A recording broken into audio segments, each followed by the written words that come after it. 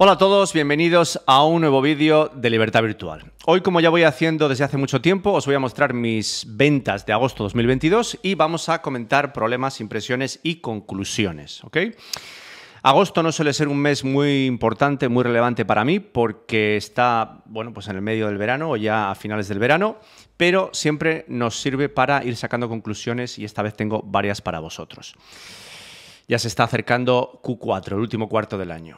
Antes de empezar a ver las ventas y analizar lo que ha pasado y obviamente lo que hemos aprendido, quiero decir un par de cosas. La primera es que muestro todos estos resultados no para alardear de nada, sino para mostraros que predico con el ejemplo, que no hay trampa ni cartón y que cualquiera de vosotros puede llegar a obtener estos resultados si realmente se lo propone y trabaja y hace lo que tiene que hacer.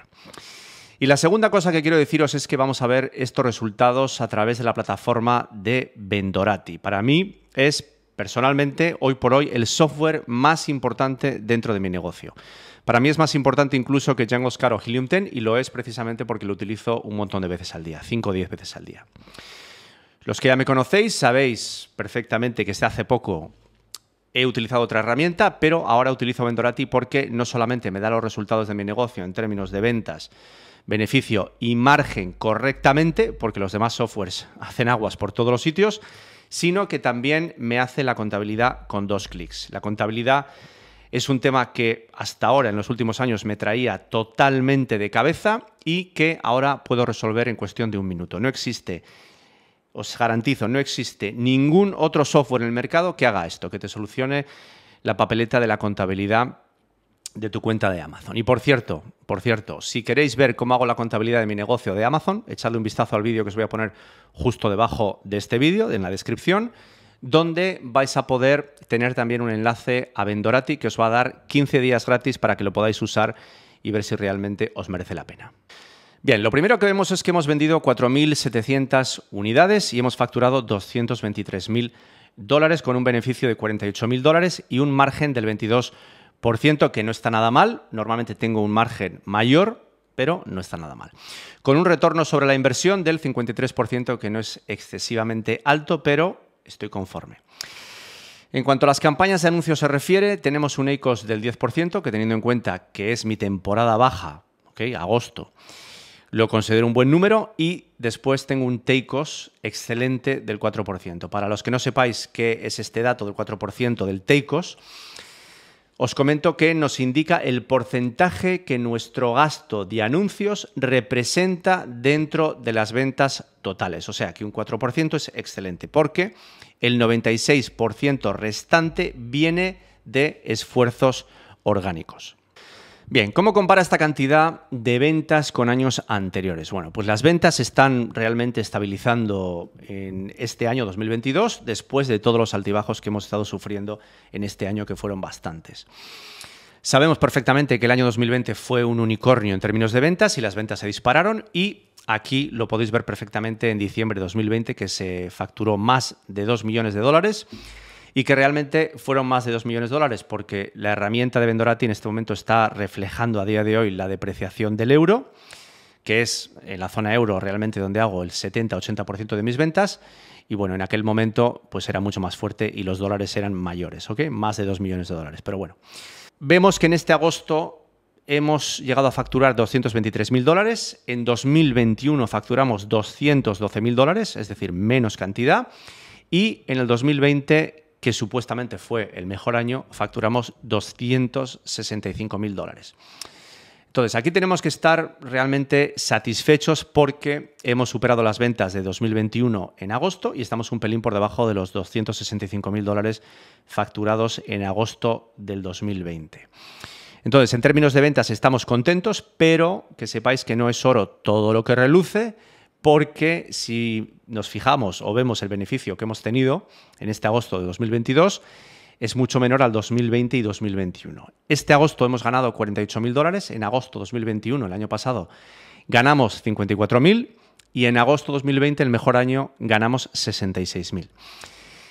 Este es el agosto en el que menos he ganado y es realmente porque estamos vendiendo más o menos el mismo nivel de unidades por unidades, más o menos el mismo nivel, pero los productos que estamos vendiendo son productos más baratos. Esto no me extraña en absoluto porque sabemos que la inflación está haciendo polvo al consumidor y cada vez la gente, bueno, pues busca productos más baratos, productos más asequibles, ¿ok? Es realmente interesante ver cómo está evolucionando el negocio online con todo lo que está ocurriendo en el mundo, con todo este galimatías. Y al final de este vídeo os voy a comentar las conclusiones que tengo y os voy a contar también cómo me estoy preparando para el último cuarto del año, el Q4.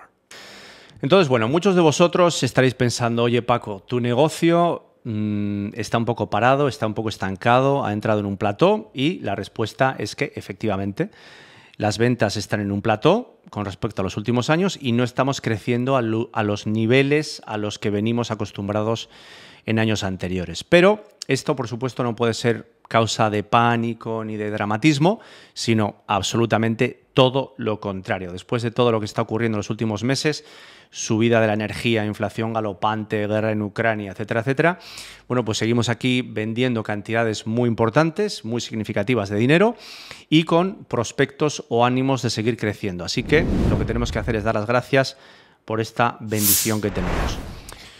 Los que piensen que hacer negocios significa que cada año te va a ir mejor y vas a incrementar, bueno, pues eh, sin ningún tipo de pausa todos los años eh, un 100% tus ventas o vas a multiplicar por dos o por tres, pues están muy equivocados. Están muy equivocados por dos razones. Primero, porque siempre hay que tener en cuenta los ciclos económicos sobre los cuales no tenemos absolutamente ningún control.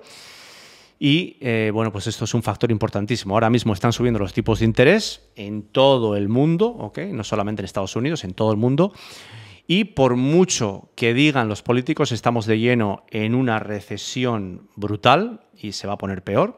Y estoy casi seguro de que los próximos meses vamos a ver cómo mm, se desinflan eh, todas las burbujas que han creado nuestros amigos de los bancos centrales. ¿Ok? Entonces, para los que estamos despiertos y entendemos perfectamente cómo funciona el sistema, que está perfectamente orquestado en contra de gente como nosotros, de gente normal, de gente trabajadora. Sabemos que a corto plazo podemos sufrir un poco, pero lo que tenemos que hacer es ver esta situación como una grandísima, grandísima oportunidad para posicionarnos para el siguiente ciclo económico de expansión, cuando los bancos centrales pivoten, ¿ok? Den una vuelta absoluta al volante eh, de 180 grados y vuelvan a bajar los tipos. Aunque todavía, todavía falta, yo creo que bastante tiempo, bastantes meses para eso.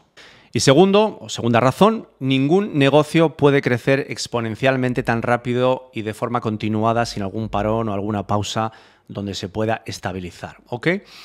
Nosotros habíamos crecido de forma brutal durante muchos años y ha llegado el momento de respirar, de reorganizar y de volver a hacer un poquito de estrategia. Quiero que entendáis que crecer una empresa como la nuestra, que llegó a facturar 6.2 millones de dólares en el 2020, y llevarla al siguiente nivel, no es lo mismo que hacer crecer una empresa que está facturando 100.000 y la quieres llevar a 200.000 o que estás facturando 500 y quieres llevarla al nivel de un millón. No tiene absolutamente nada que ver. A medida que estás creciendo en volumen de ventas, van a aumentar las probabilidades de hacer mal las cosas. Aumentan las variables de la ecuación que todavía no controlas y sobre todo porque en el negocio de Amazon, el negocio de Amazon es un negocio de logística, como digo siempre, y cuando tienes muchos productos, muchos envíos y muchos proveedores, bueno, pues en momentos mm, tumultuosos, momentos de marejada, como los que tenemos ahora, bueno, pues te puede pasar de todo, ¿no? Como nos ha pasado a nosotros. Entonces, lo importante en estos momentos es primero, primero de todo, dar las gracias por lo que tenemos y segundo, aceptar que el cambio en la vida es la única constante y que tenemos que adaptarnos a lo que venga, pase lo que pase, porque al fin y al cabo todos, y repito, todos los vendedores de Amazon tenemos que lidiar con las mismas circunstancias, ¿ok? Todos. Entonces, recordar siempre que para conseguir los objetivos a veces hay que dar un pasito hacia atrás para poder pasar al siguiente nivel y dar dos pasitos hacia adelante, ¿ok? Acordaos de esto porque es importantísimo integrarlo en vuestra mentalidad y en el mindset de vuestro negocio de Amazon. En definitiva, las ventas han mejorado ligeramente y los beneficios han bajado un poco. No son los beneficios a los que venimos acostumbrados, al final realmente lo que interesa o lo que nos importa son los beneficios, no las ventas, los beneficios, pero yo estoy tranquilo porque seguimos facturando mm, cantidades muy importantes y este año nos ha servido, como digo, para reestructurar el equipo y hacer las cosas con muchísima más cabeza. Así que bueno. Vamos a seguir adelante y vamos a ver lo que ha pasado en este mes mm, realmente en los diferentes países. Bien, el mejor país en ventas ha sido por muy lejos Estados Unidos con 100.000 dólares, seguido por Francia y Reino Unido con casi el mismo nivel de ventas, las dos prácticamente 31.000 dólares. Después viene seguido por Alemania e Italia también al mismo nivel, 23.000 dólares y 19.000 dólares respectivamente. Y después Viene España con 14.000 dólares y después empezamos a ver los países menores, los países marginales, que son Holanda con 1.800, Suecia 1.300, Canadá 845, Polonia 553 y después México y Turquía, donde ya no vendo y bueno, pues las cantidades son irrisorias. Como curiosidad, el país de Turquía todavía no me ha atrevido a ponerle ningún esfuerzo porque todo lo que he vendido en una prueba que he hecho anteriormente me lo han devuelto, no sé qué está pasando en aduanas pero no tengo tiempo para eso. Y además, si le añades el hecho de que la lira turca se deprecia permanentemente, bueno, pues no es algo que sea mi prioridad. En términos de margen, como viene siendo habitual, Francia y Alemania son los que mejor margen me ha dado. Y después vienen los países como Reino Unido, Italia y España con 21, 23 y 17. Cosas interesantes, bueno, pues la primera es que Estados Unidos nos ha dado un margen de 22%, que normalmente es bastante más alto, y demuestra que la gente, bueno, pues sigue comprando, pero nos está comprando cosas más baratas y, mm, bueno, pues eh, se está viendo reflejado en el margen, ¿no? Y también en Reino Unido tenemos un margen del 21%, donde normalmente el margen era mucho más alto, es altísimo, y ha bajado mucho porque el país está destrozado. Yo no sé si estáis siguiendo las noticias, pero eh, la situación está, bueno, pues cada día un poquito más crítica.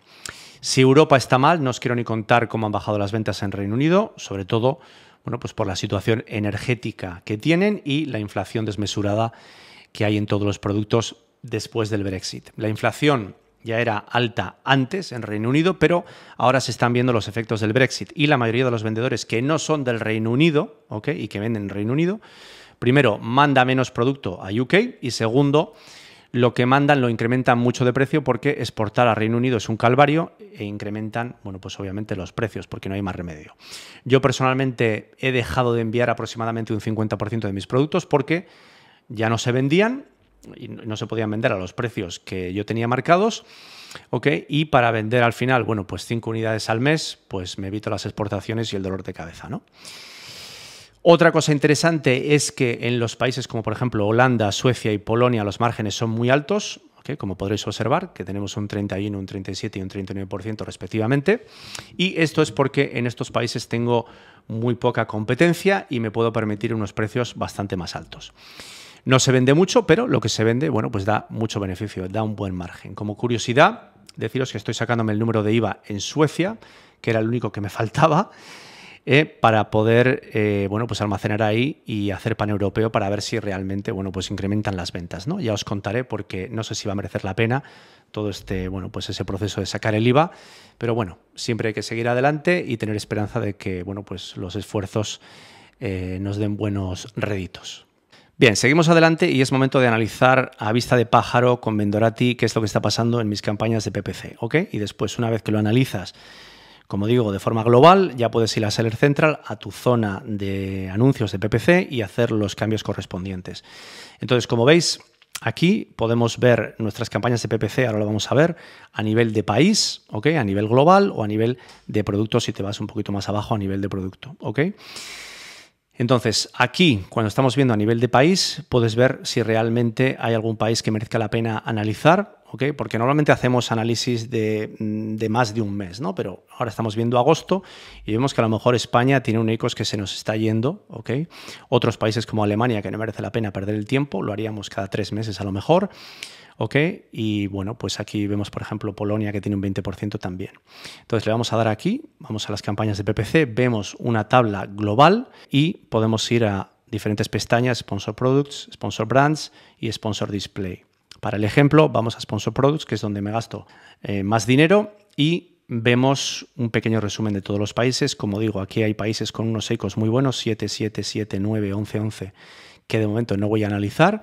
Tendría que pararme a ver qué es lo que está pasando aquí en Polonia y en España con un 20% de EICOS. ¿ok? Puede ser preocupante porque, bueno, pues como os digo, estamos analizando un solo mes, que bueno, ya son 30 días, ¿vale? Y tendría que ver qué es lo que pasa. Polonia le voy a dar mucha importancia porque me estoy gastando muy poco dinero, 3.2 dólares, con unas ventas de 16 dólares. Bueno, lo vamos a dejar. Haría que mi asistente le echara un vistazo. Aquí sí le voy a echar un vistazo en España porque hemos tenido 5.800 clics y hemos tenido muy pocas ventas. Si veis, 2.871 en ventas con unos gastos de 600 dólares. Eh, si tenemos un margen de un 16, perdón, 17-18% este mes muy malo, eh, estaría generando un beneficio de aproximadamente menos de 500 dólares. Por lo tanto, me he gastado casi 600, estoy perdiendo unos 100 dólares en estas campañas, ¿no? No, no le estoy sacando ninguna rentabilidad. Entonces me voy aquí dentro, empiezo a analizar las campañas, ¿ok? Y veis que, bueno, pues aquí hay un montón de casillas que están vacías con un guion, eso quiere decir que no ha habido ninguna venta y no se puede calcular el EICOS y vemos que hay muchísimos clics y hay campañas con 190, 67, 112, etcétera, que tengo que meterme dentro y analizar, porque cuando tengo más de 10, 15, 20 clics y no tengo ninguna venta, realmente tengo que ver qué es lo que está pasando. No me preocupo mucho porque mi producto es bastante estacional. En agosto en España, bueno, en general en, en Europa no se vende mucho y obviamente por eso están siendo las campañas tan flojas. Sé perfectamente que en octubre, noviembre y diciembre van a ser mejores, pero merece la pena de todas maneras o analizarlo yo o dárselo a mi asistente, ¿vale? Pero esto me permite tener una vista de pájaro muy rápido y decir, oye, algo está pasando en España, ¿no? Entonces sigo hacia abajo, sigo hacia abajo, todas estas campañas, como veis que hay muchísimas, porque tengo 250 productos, habría que analizarlas y ya llego a las campañas que tienen EICOS. Esto quiere decir que he hecho gasto de PPC y tienen ventas, por lo tanto la, herramienta puede calcular el EICOS. Todos estos son EICOS fatales, tengo que bueno, pues analizarlo con más detalle, todos estos más o menos hasta aquí, les echaría un vistazo uno por uno a ver qué realmente está pasando aquí, ¿vale? Y bueno, pues como veis tienen muchos clics y pocas ventas, ¿vale? Entonces, quiero mostraros también una cosa curiosa, que creo que no he hablado de ella nunca, pero es un tip bastante simpático, y es que, como veis aquí, tengo una campaña con 436.000 impresiones en agosto. dices, bueno, ¿qué está pasando aquí? Mil clics, ¿ok? Pero luego al mismo tiempo solo se ha gastado 20 dólares y ha generado 272 con un ICOS del 7%, lo cual me está generando dinero, es decir, me está siendo rentable. La intención de esto no era generar una campaña mm, de PPC que fuera rentable y ganar dinero, sino otra cosa que os voy a contar ahora mismo. Em, he metido en una campaña todos mis productos y les he puesto una puja muy, muy, muy pequeña del mínimo, 0.02. ¿Con qué objetivo? Bueno, pues con el objetivo de verla todos los días y ver qué campañas están desactivadas, porque eso me deja ver cuando hay un problema y cuando un producto pierde la buy box y mm, e, e inmediatamente bueno, pues me da una alerta, digo, bueno, está desactivada, ha perdido la buy box, voy a ver qué está pasando. Me he quedado sin stock o, ha habido un problema con Amazon, me lo ha cancelado por lo que sea y ha perdido la buy box y ya no se está vendiendo, ¿no? Entonces, eh, ese es el objetivo, porque sabéis que cuando pierdes la buy box, las campañas de PPC se desactivan automáticamente. No siempre, no siempre. Y haré un vídeo sobre eso más adelante, pero es un buen indicativo, casi en el 99% de las veces, de que algo pasa. Entonces ese era el objetivo, pero ahora mato dos pájaros de un tiro. De un tiro. Es decir, tengo una campaña que me alerta todos los días, en todos los países tengo esto, eh, si, de si la campaña está desactivada y he perdido la buy box, de tal manera que tengo que ir a ver qué pasa con el producto y al mismo tiempo me está generando una campaña mm, que es eh, beneficiosa, es decir, me está dando beneficio por todos los meses, ¿vale? Curioso, curioso. La gente dice, bueno, si lo pones a 0.02, que es el mínimo, no te va a dar impresiones y no vas a ganar dinero. Bueno, pues mira, aquí tenéis el ejemplo de que en algún momento, como tengo todos los productos a 0.02, se muestran, ya sea por la noche o, en madrugada, eh, y te generan ventas. Un tema muy curioso. ¿ok? Entonces, bueno, para no hacer la historia más larga, esto es como hago yo más o menos el análisis de PPC y esto es lo que podéis hacer vosotros también a vista de pájaro. Como os he dicho, lo podéis hacer a nivel global, a nivel de país o incluso a nivel de producto. Vais aquí, simplemente le dais a PPC y veis qué está pasando con este producto en todos los países, en todas vuestras campañas. Bien, y aquí podemos aprovechar para recapitular y hablar de mis impresiones sobre lo que está pasando en estos momentos. ¿ok? Si os habéis fijado, las ventas de Estados Unidos, 100.000 dólares, son casi iguales a las ventas de todos los demás países juntos. Es decir, Estados Unidos igual a todas las ventas en Europa continental más Reino Unido. Esto nunca, nunca nunca fue así, pero demuestra, creo yo, la debilidad que está sufriendo el consumidor europeo. Obviamente, esto eh, os lo comento en referencia a mis categorías, a mis productos, pero no tiene por qué aplicar también bueno, pues a los productos de otros vendedores. ¿no? Existen cientos de categorías y subcategorías, así que bueno, no tenéis por qué hacerme caso, no tiene por qué aplicar a todo el mundo. Eh, pero bueno, mm, yo tengo tres categorías, productos en tres categorías, está bastante diversificado y creo que puede ser representativo de lo que realmente le está ocurriendo al consumidor europeo.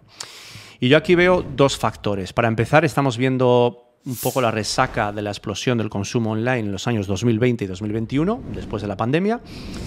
Y yo creo que la gente se ha hartado de estar en casa y en agosto, ya ocurrió junio, julio y agosto, ¿vale? Pero en agosto, que estamos hablando de él ahora, ha aprovechado, ahora que está libre tanto física como mentalmente, después de todo lo que ha pasado, para, bueno, pues gastar, despilfarrar en la calle y, bueno, pues obviamente esto afecta a las ventas online que normalmente yo creo que tendrían que haber sido mayores. Ya se vio un poco esta situación en el año 2021, el año pasado, pero en este verano del 2022 estamos viendo o hemos visto eh, esto de una forma bueno, pues más exagerada. ¿no?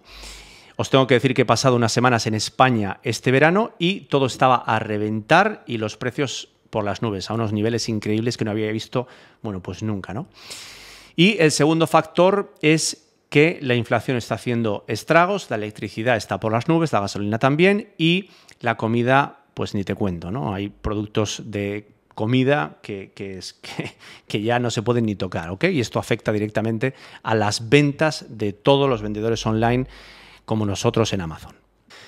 En definitiva, para ir cerrando, para ir concluyendo, estoy bastante contento porque nos hemos mantenido con unos grandes resultados pese al ajetreo y a los cambios que están ocurriendo en el mundo. En este año para el último cuarto, octubre, noviembre y diciembre, os tengo que decir que voy a ser muchísimo, muchísimo más conservador con mis expectativas de ventas y os anticipo que mis pedidos a proveedores van a ser aproximadamente un 50% de lo que pedí en el año 2021 por estas fechas. Muy probablemente me estoy pasando de conservador, soy consciente, y me voy a quedar sin inventario en muchos productos, pero prefiero esto a pasarme de stock y tener que malvenderlo perdiendo dinero en enero, febrero y marzo. Sobre todo porque cuando haces ofertas o bajas los precios porque tienes que vender el producto, sea como sea, luego volver a subirlos sin perder la buy box es muy pero que muy difícil y sufres bueno, pues muchísimo. No quiero tener esa situación porque ya la he vivido este año. ¿Ok?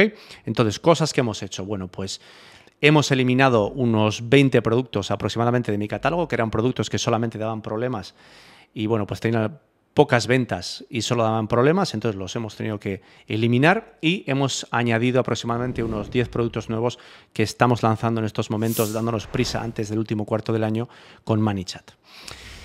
También como novedad curiosa, ya sabéis que llevo un par de meses vendiendo en Walmart desde que hice el anuncio hace un par de meses y de momento, bueno, pues no tengo mucho que celebrar. Hemos vendido solamente solamente 35 pedidos, todo FBM y la verdad es que, bueno, pues estoy un poquito decepcionado porque esperaba más, pero bueno, también hay que ser consciente que hemos lanzado justo en pleno verano y esto seguramente no es representativo del poder que tiene Walmart. Creo que he facturado unos 3.000, 3.500 dólares, que no es nada, pero bueno, algo es algo y empezamos a aprender, ¿ok? Si veo que hay algo de movimiento durante este último cuarto del año, entonces le voy a dar realmente una oportunidad y en 2023 empezaré a hacer FBA con ellos que se llama WFS. Es lo mismo que Amazon FBA, pero con Amazon, pero con Walmart, perdón. Bien, antes de finalizar, acordaos que estamos en septiembre y finaliza el trimestre, ¿ok? Que es julio, agosto y septiembre. Y hay que hacer las declaraciones de IVA y ventanilla única OSS y sobre todo hay que entregar la contabilidad a nuestros contables y lo podéis hacer aquí en cuestión de segundos con Vendorati. Tanto como para Norteamérica como para Europa podéis bajar los informes de ingresos y también los informes de cargos de Amazon. Con esta herramienta os vais a ahorrar todos los años un mínimo, un mínimo de 50 horas de trabajo más los quebraderos de cabeza que obviamente os vais a evitar sabiendo que estáis haciendo las cosas bien. Bueno, esto es todo. Espero que os haya gustado el vídeo. Si os ha gustado, me encantaría que os suscribierais a mi canal. Y para los que estéis interesados en este increíble y maravilloso mundo de Amazon, ya sabéis que podéis contar con mis formaciones, que las tenéis justamente debajo de este vídeo y donde vais a aprender exactamente todo lo que he hecho yo para llegar a donde me encuentro hoy en día. Y lo vais a poder hacer en la décima parte del tiempo que lo hice yo y por supuesto ahorrándoos una verdadera fortuna en errores que no cometeréis. Así que sin más, muchísimas gracias y nos vemos en el siguiente vídeo. Chao.